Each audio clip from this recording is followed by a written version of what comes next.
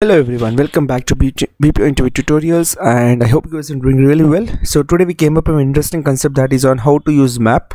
So before moving how to use map in MS Excel, before moving to the video, I would request everyone to please save subscribe the channel, check out the playlist. You will find uh, 200 plus videos that will help in cracking interviews on all the concepts like trainers, team leaders, quality analyst, WFM, Six Sigma certifications, MS Excel dashboards, reports, many more videos are there.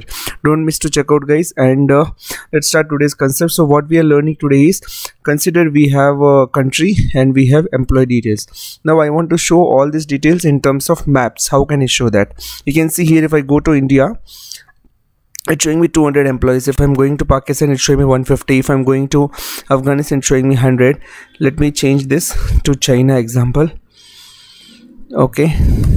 Okay you can see here. Now this is china so it's showing 100 employees. So in this way we'll get all our details in the form of map.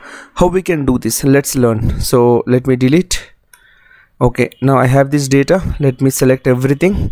On the top of the page page you will find uh, a option of insert. If you go to insert you will have a chart. In the chart what you have to do in the right hand side you can see it's selected as a pie chart. Just scroll it out and you have to select map.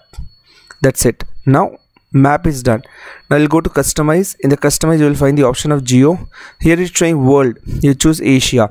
If you're going with like australia and all other other kind of things then you will choose world here uh, so that you will get all the information. Let me consider give an example here. Suppose i'm going with usa example uh, USA if I'm going with USA definitely see you can see here the USA got selected. And I can see 200 employees in USA so in this way you can do again you can go to edit chart and customize and you can go to geo and you can choose here Asia. Okay and let me remove this uh, Pakistan China let me add Bangladesh Bangladesh. I'm just adding things. Okay you can see here. We got these details okay? China Bangladesh okay? And uh, some part of Pakistan you can see 150 now if I want to change the colors if I want to change the colors I can do changes also. How we can do it? If you go to same setup just go to customize go to geo. You can give the colors here okay? Minimum mid. Suppose in the mid I, I want to give as a green light green i'll go with the another color like blue. So you can see here the middle pakistan color got changed to 150 you can do in this way. Setup in the setup you can go and you can increase your cell size. If you have more countries you can increase the cell size. And uh, if you want to just show the aggregate number like one it will goes as one aggregate number. You can do that also.